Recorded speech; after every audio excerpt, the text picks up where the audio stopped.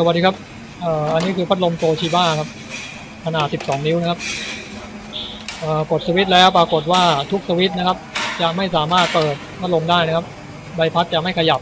แล้วก็จะไม่มีเสียงของมอเตอร์อะไรเลยนะครับ เงียบสนิทเงียบสนิทนะครับผมจะถอดอแผงด้านล่างนี่ออกก่อนนะครับ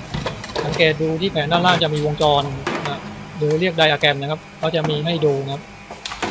เพื่อความสะดวกในการซ่อมนะครับ ก็จะมีปลั๊กนะครับมีสายสีขาวนะครับ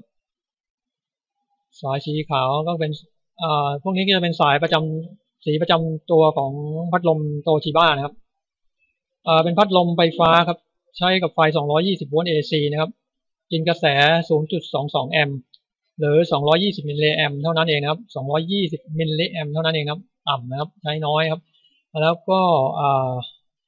กำลังไฟฟ้า 45 วัตต์นะครับ ใช้ความถี่ที่ 50 เฮิรตซ์นะครับ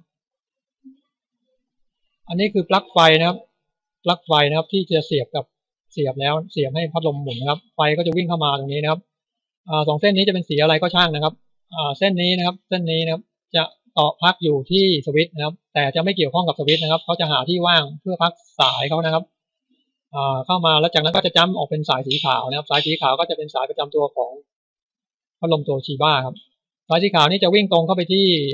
มอเตอร์หลักนะครับ ขดลวดมอเตอร์หลักนะครับ หรือขด run นะครับ แบบตรงๆนะครับ จากนั้นไปอีกเส้นหนึ่งก็วิ่งเข้ามาที่ตรงนี้นะครับ แล้วก็มาผ่านเข้ามาที่สวิตช์จากสวิตช์ก็มาผ่านฟิวส์นะครับ มาผ่านฟิวส์ขนาด 0.5 แอมป์นะครับ 250 โวลต์เมื่อเกิดมอเตอร์เกิดการช็อตรอบนะครับมีการกินกระแสเกินปกตินะครับ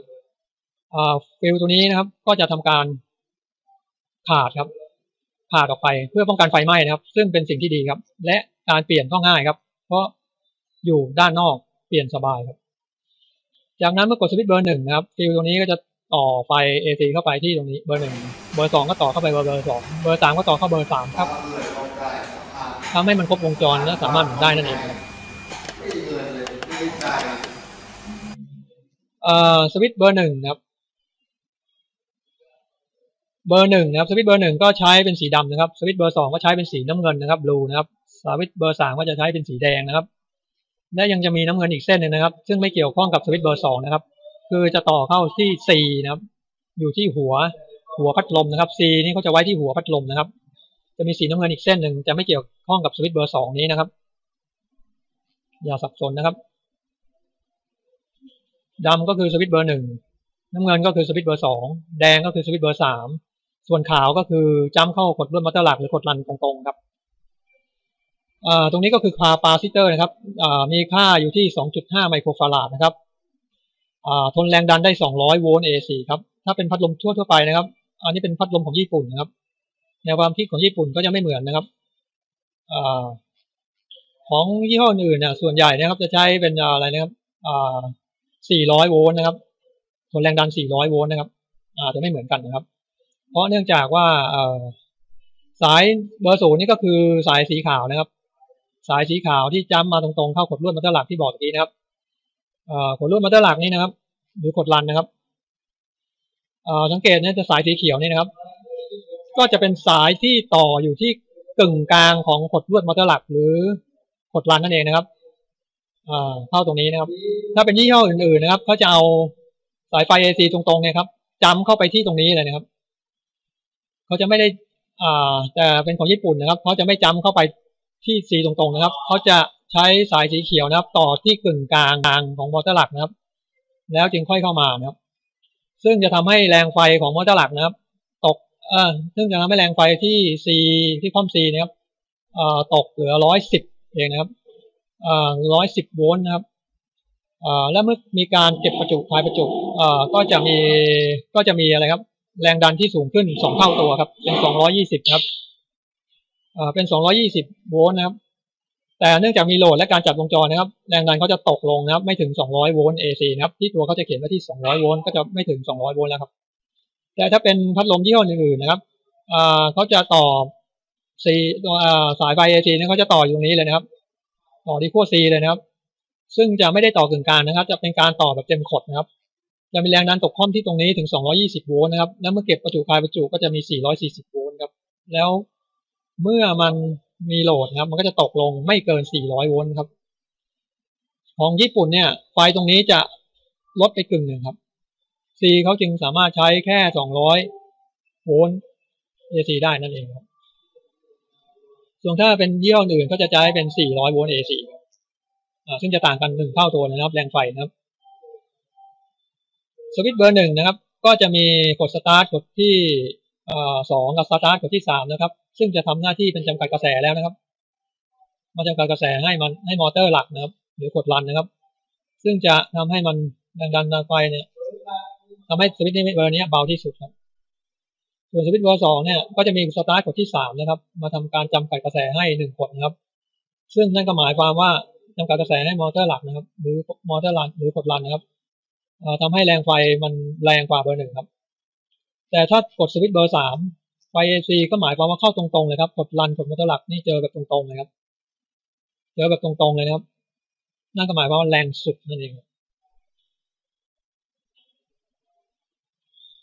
ส่วนผมได้ทำการเช็คฟิวส์ตรงนั้น 0.5 แอมป์ไม่ขาดครับ แล้วก็ขดลวดทุกขดก็ไม่ขาดครับ แล้วก็ C ตัวนี้ก็ไม่แห้งครับ วัดได้ 2.5 ไมโครฟาราดครับ นั่นก็ถ้าฟิลไม่ขาดก็แสดงว่ามอเตอร์ไม่ได้ช็อตรอบครับ นั่นก็หมายถึงอาจจะมอเตอร์อาจจะขดลวดขาดก็ได้ แต่ปรากฏวัดแล้วไม่ขาดนะครับการที่ไม่หมุนอาจจะเป็นที่ C แห้งก็ได้ครับ แต่ C ก็ไม่แห้งครับ แสดงว่าอาการนี้หนึ่งฟิวส์ไม่ขาดนะครับ มอเตอร์ไม่ช็อตรอบ ก็ต่อด้วยการวัดว่าขาดหรือไม่ ปรากฏว่าไม่ขาดขดลวดไม่ขาด C ก็ไม่แห้ง นั่นก็สรุปได้ว่าทุกอย่างดีครับ แสดงว่าเสียที่ด้านกลไกครับโรเตอร์ครับโรเตอร์ตัวหมุนอาจจะมีอะไรไปติดขัดไว้ หรือมีฝุ่น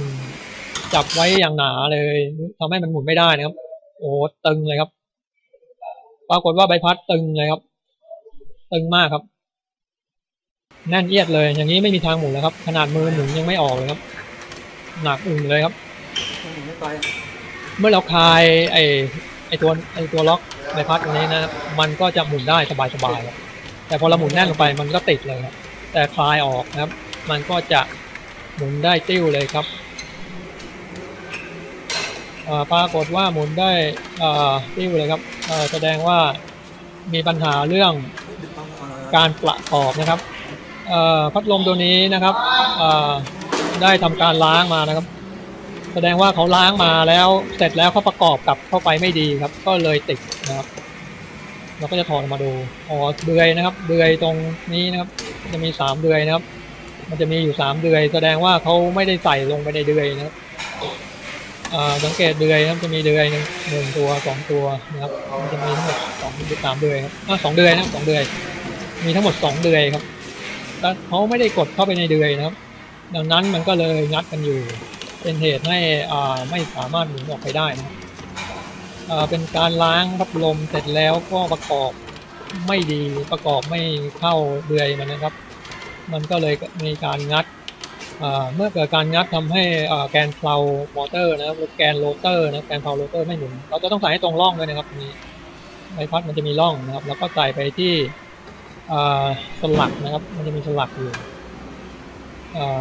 เราก็จะต้องใส่ให้มันตรงนะครับคือต้องประกอบให้ถูกต้องนะครับ อย่าให้มันผิดพลาดนะครับก็จะใช้งานได้ดีที่สุดครับจากนั้นเราก็จะใส่นะครับไอ้ตรงนี้ต้องหมุนอ่ามันจะหมุนกลับด้านกันนะครับ หมุนทวนเข็มนาฬิกาเป็นการว่าแน่นนะครับ หมุนตามเข็มนาฬิกาเป็นการออกครับ มันจะกลับ มันจะกลับกับเอ่อน็อตปกติทั่วไปครับ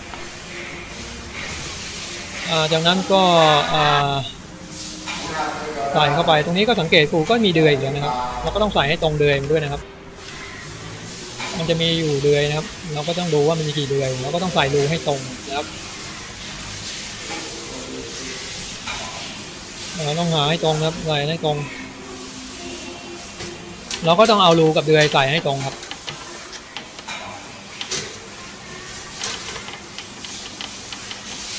ใส่ให้ตรงครับให้ลงล็อกมัน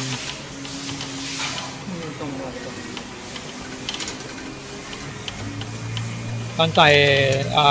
ใบพัดของไอ้พัดลมตัวยีบ้าเนี่ยรู้สึกมันจะใส่ยากนิดนึงนะจากนั้นก็ลองเสียบไฟดูครับกดว่าลมเบอร์สามปรากฏว่าหมุนแล้วครับ แรงครับเบอร์สองก็แรงแรงเบาหน่อยเบอร์หนึ่ง ก็เบาลงเบาที่สุดครับ ก็เป็นไงว่าเสร็จเรียบร้อยครับตรงที่พัดลมติดเท่านั้นเองครับสำหรับวันนี้แค่นี้ก่อนครับสวัสดีครับ